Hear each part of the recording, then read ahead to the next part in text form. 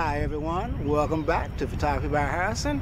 And what we're going to do today, in between the storms, we'll have storms all this week, but in between the storms today, we're going to go out and chase some raindrops. And if we're lucky, we might even see a rainbow. So with that being said, I'll see you on the other side.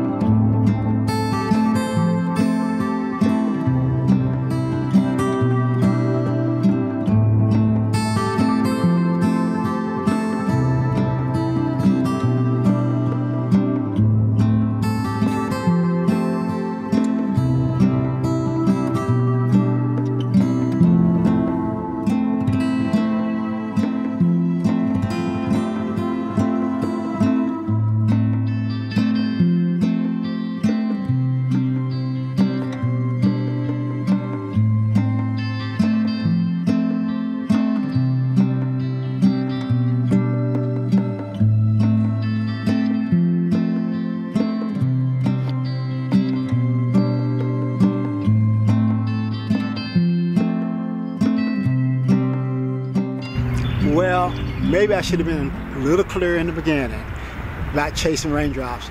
No, not running around outside with my camera trying to get raindrops falling out of the sky. We're getting raindrops falling on the grass. And I shot some in stills and I shot some in video. And I hope you enjoy. If you like what you see, leave a thumbs up.